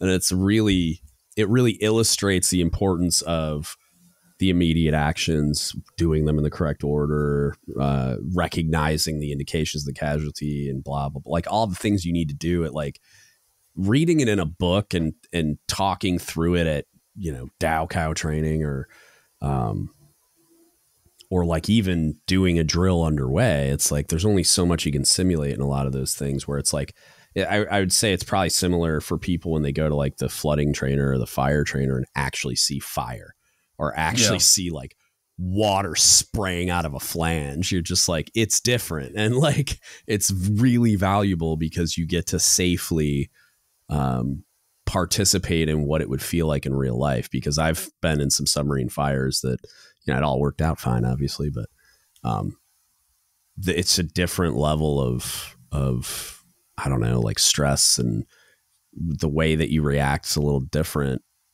but it, it, it is but it isn't it like it's and it's really illustrative of like what could go wrong and why it's so But you important to still get right you still yeah. get that adrenaline rush. Like for us going to Yeah. the fighty where you sit in a fake maneuvering that's all run by computers, but they have speakers that play the Mm-hmm. ambient, you know, noise of the engine room, especially if like a you know, some sort of steam rupture happens, it gets insanely loud in there, like you can't even hear yourself think. Or like yeah if we run a, a fire in the fighty, they'll actually cut off the air conditioning to that fake maneuvering.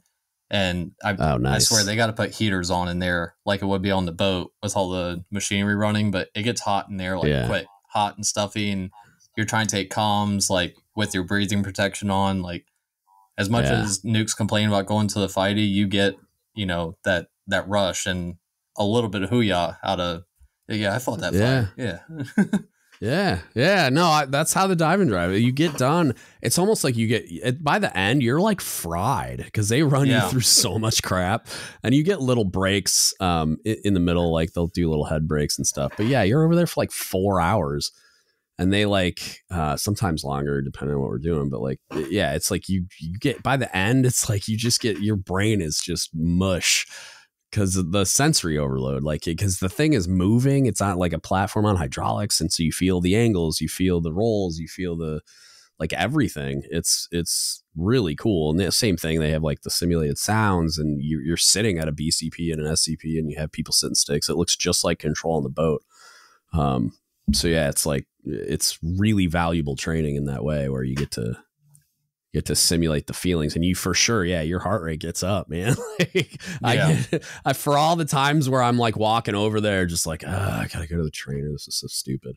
And then but yeah you get in there and it's like when stuff starts popping off you get you, you, get your heart rate up. The only time i don't is when i have a ui and it's like because it's kind of not my problem. It's like yeah. i'm just coaching you know like so i get to detach myself and just kind of like laugh at the dude that's flopping and twitching but yeah, and that's usually when you uh, feel like the the total expert too. When you're in the trainer with the yeah, UI, obviously. you're watching this kid mess everything up. You're just like, how did you not think you, about this? Right. You recognize everything immediately. Yeah. Like you start seeing the indications, like like two body interaction. We're getting run over, dude. Like say something. But like when you're sitting there, you're the guy that doesn't see it because you're like looking around for everything.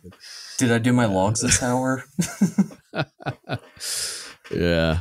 Um, um, so then I'm, I'm going to kind of throw it throw it back probably 10 or 15 minutes at this point. The the second it's point you were reminding me of was the whole 1500 release and shipyard thing. Yeah. Uh, I went through the same thing on my first boat when we went through an availability where the CO put out if you're off going duty, you shouldn't be here past 14 or 1500. Can't remember what time it was, yeah. but um, and this is also going to lead into a lot of points I have about my first chief on my first boat. Yeah, who was I was wondering when we were getting to that. Like, yeah, it's yeah. it's coming around, but uh, he was yeah. a solid dude. He just wasn't a great chief, which is kind of weird because yeah. he came to our boat at his 16 year point and retired mm-hmm. after his tour and like had been a chief for a while. But I, I don't know. That could be like a, a whole nother thing. Maybe we'll get into that. But there was one day where I was off going and it was coming up on 14 or 1500 I went looking for my chief to tell him I was going to be heading out, and he was in that. Um, I think it was called the interface meeting, where you go meet with the shipyard.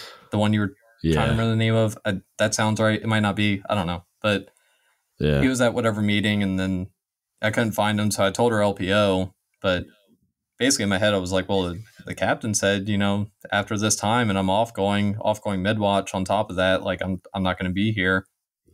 And uh, so I left work and I ended up going and helping uh, my wife out with something that was almost an hour away from my apartment.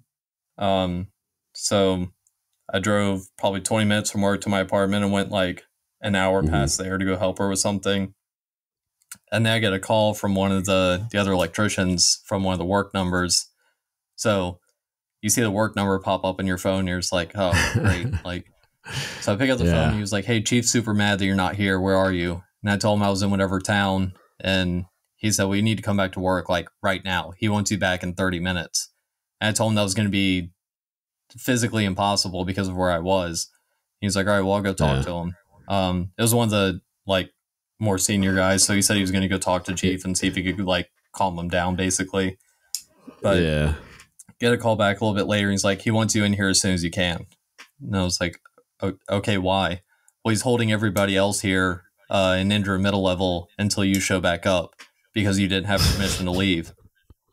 And so at this point, I'm like super mad about it, you know, being my spiteful junior self and basically told him like, well, you go tell chief, this is what the captain said. If chief wants to talk to me, he can call me himself.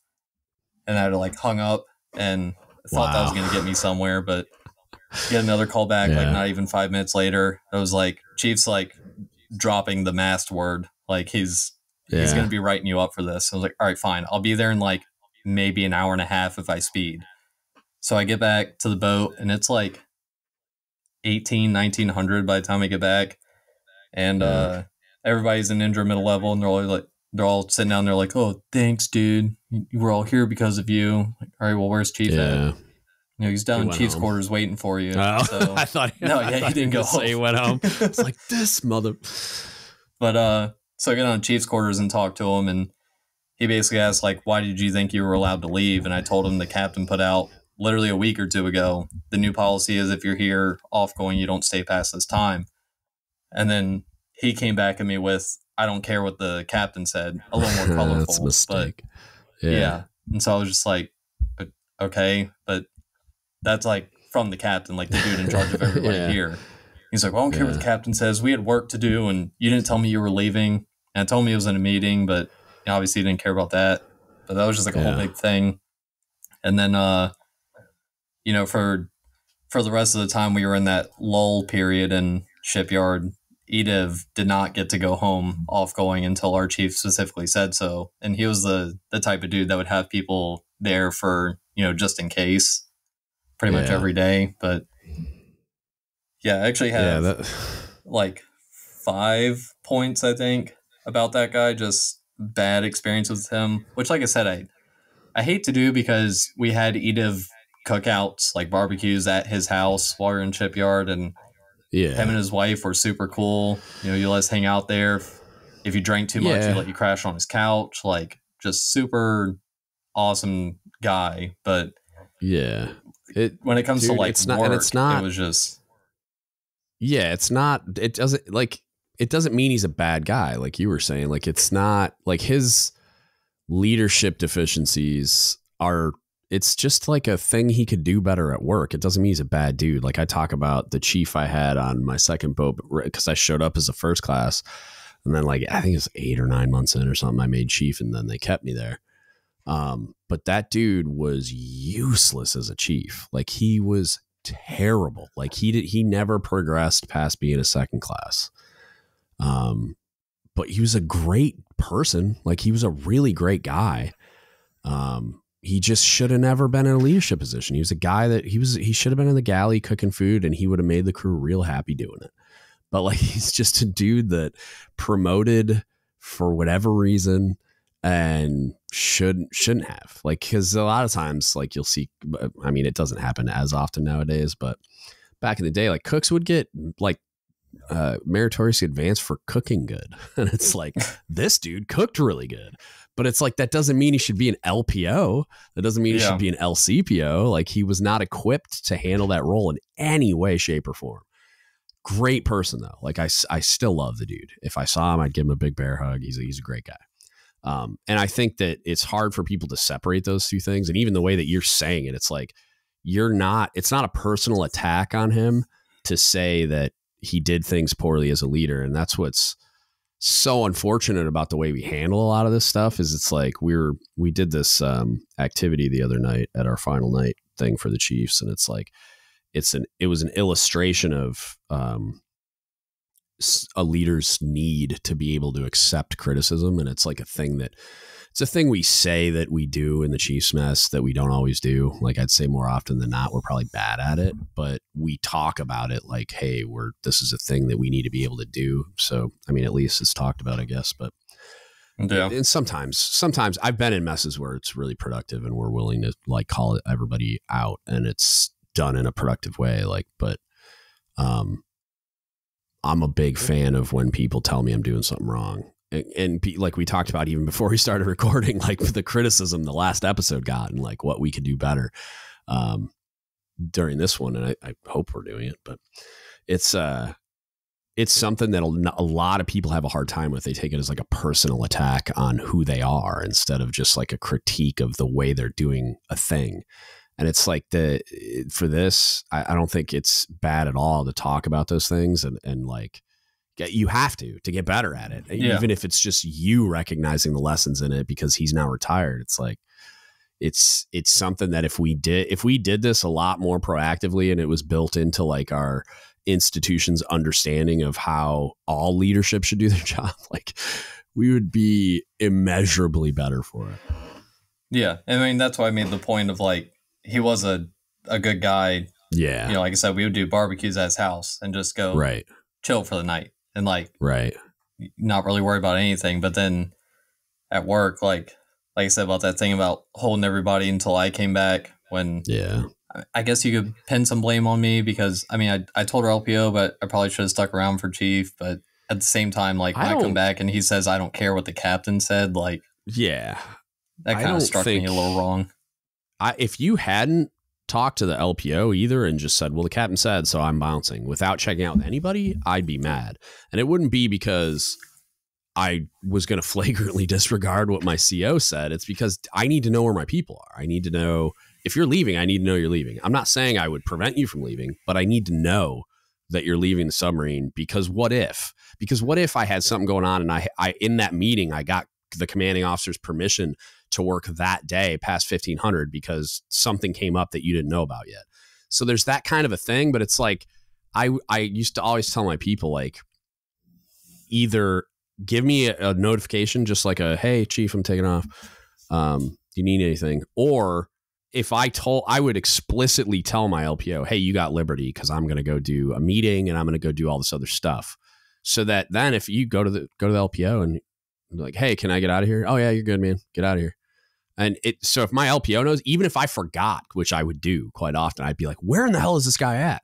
And my LPO would be like, oh, you t- told me I had liberty and I sent him home. I'm like, oh, all right, I'll talk to him tomorrow. you know what I mean? Like it's yeah. like one of those two things you got to balance it that way because I don't want to waste their time ever because their time is so valuable and you you lose a lot of of leadership capital that way. Um, but yeah, I mean, if like you're if you're you hadn't talked to the LPO, I'd have a different feeling about it. But because you did, I don't think it was unreasonable at all for you to leave. Like your LPO told you it was cool, so that's I that's a chief should be yelling at the LPO if he's got a problem with it. And even then, it's like they're the LPO. Like they're I feel like they're the people that should be managing Liberty the the majority of the time. And it's like the only time my LPO didn't own Liberty was when I it, it developed into like once I if I told him, hey, don't let anybody leave until I'm done with this meeting. Or, or whatever. It turned into that event. Like it started as I would explicitly tell him he had liberty, so that I wasn't on like preventing people from going home for no reason by not being available. But once I trusted his judgment the way that I did, which happened pretty quickly, it was just like a yeah, the LPO owns Liberty. Don't don't look at me because I'm all over the place all the time, um, unless yeah. I told him otherwise. Yeah, I think I think it was totally reasonable for you to leave. Well, then uh, I guess I mean now that we're on the topic of him and get into the other stories I had from him, just again, just like the few worst experiences I can remember. But yeah, uh, so one morning, um, we were up in shipyard in New Hampshire, which obviously gets pretty cold in the wintertime. Yeah. So we had one of our other electricians go out in the morning and start his car up to start warming it up and went back in his apartment or house or whatever. They went back inside to like just let his car warm up for like five or 10 minutes and yeah. finished getting his boots on, getting his coffee, whatever he was doing. He walks back out into the parking lot and the whole hood of his car is on fire. Like Yikes. something just failed and yeah started a fire. So um, he you know got that taken care of. Um, I guess like you know fire department whatever showed up, and then he was starting the process with the insurance, and mm. then he called our uh, our barge, and I'd been on duty the night before, and I was hanging out in the EDIV space, so I picked up the phone and he told me what was going on, and I said like, all right, cool, you know, like take care of that. I'll let Chief know when he shows up for quarters. And our chief showed up for quarters, and I told him what was going on. And uh, me and this electrician were like really good friends outside of work too. Like we hung out all the yeah. time. So our chief knew that. So he basically told me like, "Well, you guys hang out a lot. You know where he lives. Go pick him up." And I was like, "Chief, are you serious? Like his his car caught on fire. He's like on the phone with insurance right now. He's got to figure this yeah. out. That's his ride to and from work. He doesn't have it anymore. So like at least you know let him figure that out for the day." But our chief was like, no, I don't care. He's got to be here. We got a lot going on.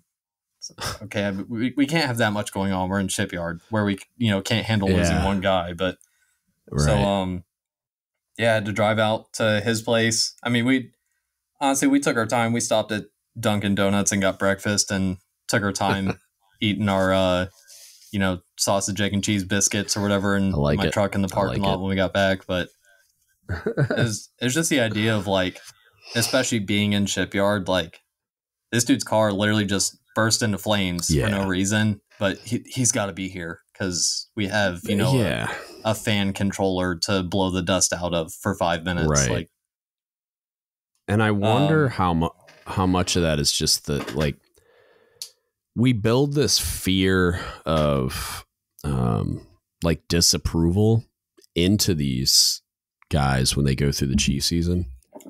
And like i wonder how much of that gets like embedded in the programming you know what i mean? Like i i because I, I it's not like i don't have that. Like i've i've had that fear of like the chain of command disapproving like the way in which i'm doing my job. And luckily like i also have a lot of other processes running at the same time that prevent me from acting insane as a result. But it's like you see people do things like that and that seems irrational when on the surface when when a chief is demanding that you go pick a guy up when his car was on fire. Like if i was that kid i wouldn't have i would have been like no i'm not going anywhere. I'll deal with the consequences when i'm done.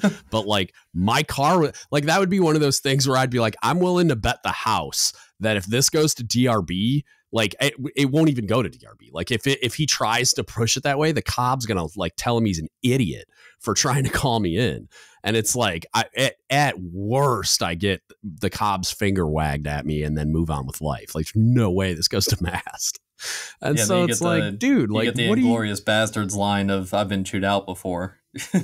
Um, yeah, yeah, by better men than you, and it's just like get out of here with this. Like I would have gambled there, but like it that's that's irrational and like crazy. That's like crazy behavior where the only real explanation is that chief is so afraid of disapproval from the chain of command that he's like like you said demanding that everybody be present so they can work through a innocuous work list during shipyard in the most because and I but to be fair to your chief too like the type of like night work meetings I've sat at where the CO is just like face blasting people because like they can't brief their night work list or they can't they don't have a adequate plan in his opinion or crit path work especially like if it's not going at light speed like he wants it to or there's some kind of like hiccup because the shipyard sucks it's all our fault and we're horrible people and he throws his papers and storms out of the night work meeting that then takes four hours because we have to restart it so many times because he's a psycho that should be medicated. Like it's you know what i mean like it Yeah. there's stuff like that that happens man and it's just like if you've never gone to one of those meetings it's like it's heavy, especially for maintenance heavy divisions like E EDIV, A Gang, MDiv. Like they get their souls crushed. And a lot of times, layered on top of that is this weird expectation that a, a division officer that barely knows their way around the submarine competently briefs the work list while the chief or LPO is sitting right there cringing. And then they're idiots. And oh my God, we're like, if the table wasn't bolted down, I'd flip it over and storm out because I'm a child. And it's just like, you can't win, you know? And it's like, so he probably had a really healthy fear of that type of interaction if I had to. I mean, I'm kind of I'm going Yeah, off no, and speculating a bit here. I would agree with that because he, I mean, I've actually never thought about that side, but he also Yeah. did complain about how he had never been able to make senior chief up until right when he retired. So maybe he was just trying to show good face, but Yeah, I don't know. yeah, uh, maybe. I mean, in the same, actually, in the same winter, uh, again, New Hampshire winter, it gets ungodly cold, but Yeah, the heat in my apartment went out. Um, one of my roommates was a pretty senior mechanic when we first got up there, and then a couple months later, he got out of the Navy and moved out. And he was in charge of the heat bill and didn't tell us that was not included with the utilities bill. So yeah, he moved out like late summer, early fall, and stopped paying the heat bill. So they shut it off like right before the winter. Which, if he had moved out like a month later, it wouldn't have gotten shut off because the northern states have whatever law about. It might be a countrywide, but I know especially in northern states have a law about you're not allowed to shut off heat because somebody stops paying in the winter time because Right. that's literally going to kill them. But yeah, so when the cold first started hitting, we noticed our our heat wasn't really keeping up, and we are like, well, you know, maybe it's just like an old unit, like maybe it can't really keep up with the cold, and that's fine. And then our apartment started dipping down to like mid fifties, and we were like, okay, this is a problem. So we Yeah. We called the apartment, you know, office or whatever, and they told us we hadn't been paying our bill. And then that was a whole thing about why didn't you tell us, but whatever. Yeah. Yeah. Uh, so so I went to work and uh, told my chief like, hey, our turns out our heat hasn't been working in the apartment and it's dipping down pretty low. And at the time, uh, my wife and I were uh, dating, and we had just gotten a a little German Shepherd puppy. Yeah. So I'm telling my chief, like, you know, my girlfriend just moved in, and we got this little puppy in the house. Like, all of us kind of need heat, and then like the other two roommates, like they're pretty miserable too. And then told him that um, because it's wintertime now and they're so backed up on appointments, they're going to be here next week between the hours of Tuesday, you know, whenever they can get there. Like, yeah. Yeah. and so basically asking for a day off from work again while we're in shipyard, and I'm pretty sure Yeah. we're still in dry dock at this point. But uh, he came back at me with, "Well, what does your girlfriend do?" And I was like, "Well, I mean, she has a job also, but Because if she should be at home barefoot and pregnant. yeah." like, God, ah, Jesus That's- Christ. I told him like she has a job, but like if she doesn't Yeah. show up for the job, she doesn't get paid. If I take a day off of work, I still get paid. And like if they show up at nine in the morning, I'll call the barge and see if you still need me to come in. Like I told him, like if they show up first thing in the morning, I'll still come into work, but like I don't know when they're going to be there. Right. and he got right. he got upset about that and uh, told me I need to come in on on that Tuesday until lunch and then I can go home. Let's say you probably got- missed the. Yeah. Oh no, I didn't. I didn't miss it. I mean, I got like super Uh. upset about it, but I stayed until like eleven on that Tuesday. Went home, and they ended up not showing up until almost five in the afternoon. But Oh, okay. uh, so I mean, that was good. But at the same time, it was just kind of like that instant response of, "Well, what does yeah. your girlfriend do?" It's like, Right. work. But I don't know. Like, also, like, dude, I could tell you, like, during like periods of time where we were getting ready to get the boat to sea, it's like if one of my guys came up with something compelling, it's like, yeah, don't come in, dude. Like, that's fine.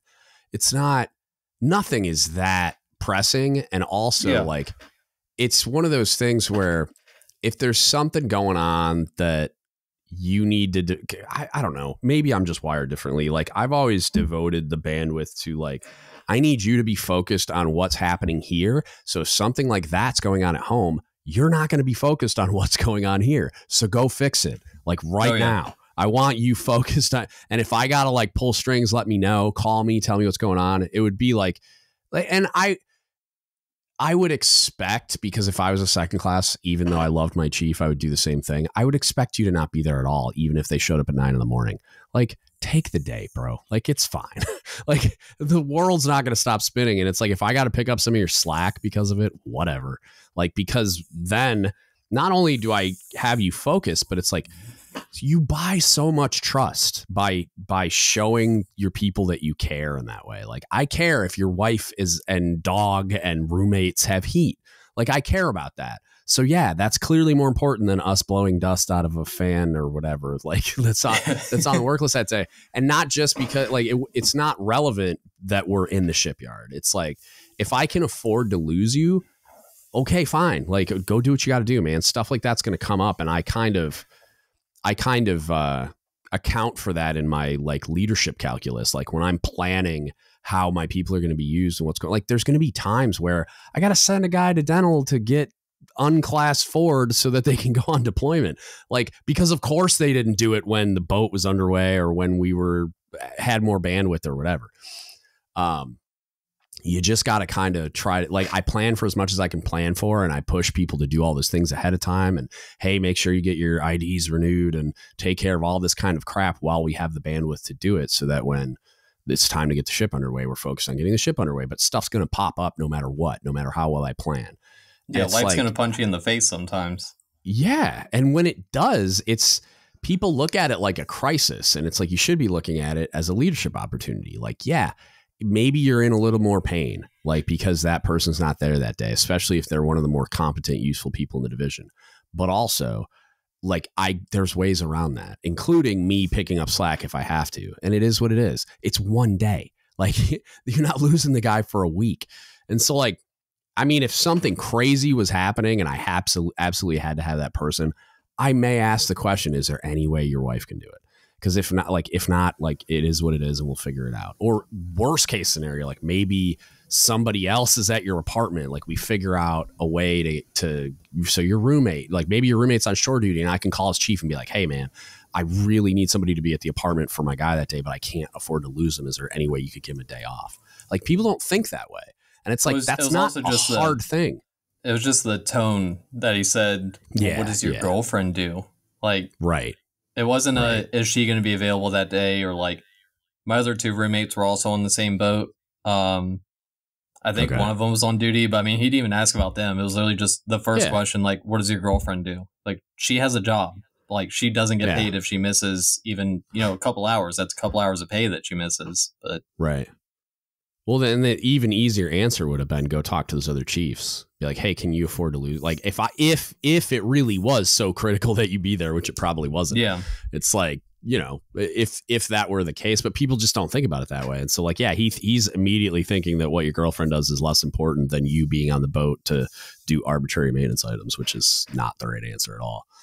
But yeah, it's it's gross that leaders don't spend more time thinking about the fact that their people need to be well taken care of, so that they're ready and focused on what has to happen on the submarine. And and but then you bring in the variable of you were in the shipyard. So it's like, if you miss a day, who cares? Like, there's, uh, oh, we got to do this one or two arbitrary maintenance items the next day. whoopee. Like, who cares? And if you brief that to the chain of command, like, oh, well, EMN2 had an issue with his heat at home. So those uh, items are going to be kicked to the next day. Nobody's even going to blink at that. Like, I was down a person today due to like them having to deal with a heat, like a heater going out in the middle of winter in New Hampshire. Sounds like a great reason to not be at work to me. All right, next, next, next division, like you know, whatever. Yeah, when outside ambient temperature is negative twenty with a wind chill. Yeah, reasons I pretty, don't ever want to live there, but yeah, whatever. Pretty, pretty, va- pretty valid reason to not be at work.